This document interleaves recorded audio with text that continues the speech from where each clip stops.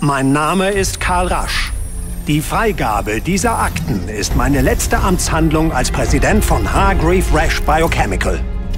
Hören Sie bitte gut zu. Sie müssen die Wahrheit kennen.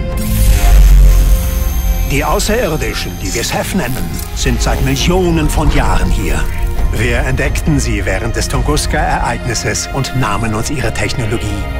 Mit dem gestohlenen Wissen gründeten wir diese Firma. Wir bildeten das Raptor-Team und schickten es daraufhin nach Lingshan, um unser experimentelles Exoskelett einem Feldtest zu unterziehen.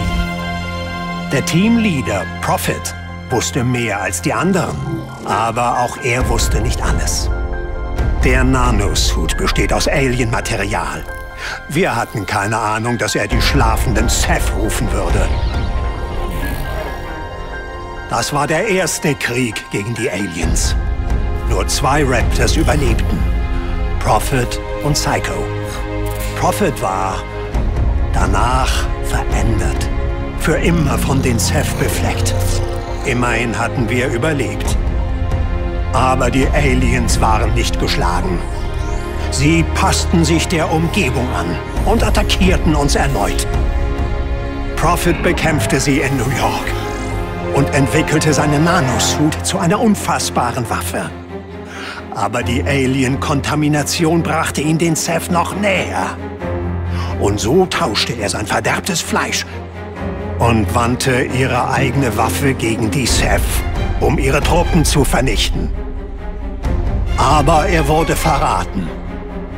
Cell, der militärische Arm dieses Unternehmens. Sie ließen sich für den Sieg in New York feiern. Und jetzt greifen sie in Washington nach der Macht. Die Seth sind besiegt. Doch ihre Technologie bleibt tödlich. Cell benutzt diese Technologie, um die Weltwirtschaft zu kontrollieren. Ich bitte Sie nur um eines. Finden Sie Prophet. Er ist gefährlich. Kein Mensch mehr. Aber er kann Cell stoppen.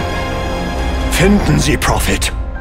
Und beten Sie zu Gott, dass er uns ein allerletztes Mal rettet.